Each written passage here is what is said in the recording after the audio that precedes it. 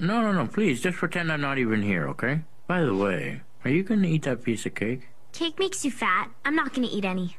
Actually, I found that you don't gain any weight as long as you burn calories by using your brain. Hmm, so now you're calling me stupid?